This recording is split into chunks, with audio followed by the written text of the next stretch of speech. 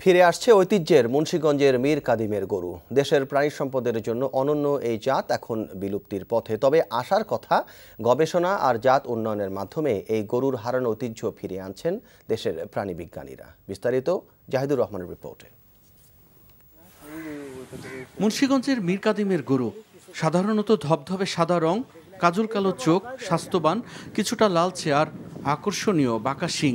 বাহ্যিক বৈশিষ্ট্য হলেও আসল বৈশিষ্ট্যই হচ্ছে দেশের ঐতিহ্য। উৎপাদন ক্ষমতাও দেশে অন্যান্য জাতের গরুর চেয়ে দ্বিগুণ। আর এই সম্ভাবনাকে কাজে লাগিয়ে হারানো ঐতিহ্য ফিরিয়ে আনতে গবেষণা শুরু করে বাংলাদেশ প্রাণী সম্পদ গবেষণা ইনস্টিটিউট, বিএলআরআই। আমরা এইখানে কিন্তু গবেষণা করেছি, খামারি পর্যায়েও আমরা কিন্তু এর গবেষণা চালিয়ে যাচ্ছি। এখন আমরা উদ্যোগ গ্রহণ করেছি যে কি করে এর সংখ্যা বাড়ানো যায় উৎকৃষ্ট মীর কাদিম জাতের গরু থেকে গবেষণা করে এর জাত উন্নয়নের মাধ্যমে প্রাণী সম্পদ খাতে অনন্য সম্ভাবনার কথাই বলছেন গবেষকরা।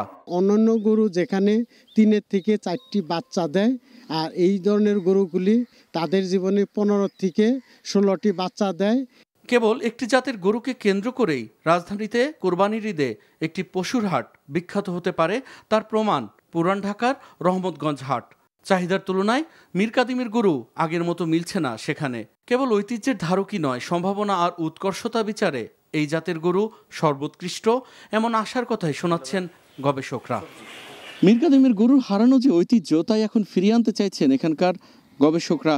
তারা বলছেন, জাত উন্নয়নের মাধ্যমে সারা দেশে এই গরু ছড়িয়ে দেওয়া সম্ভব হলে তা গ্রামীণ অর্থনীতিতে সূচনা করবে এক উজ্জ্বল সম্ভাবনার। Zahidur Rahman, NTV news, Savar, Dhaka.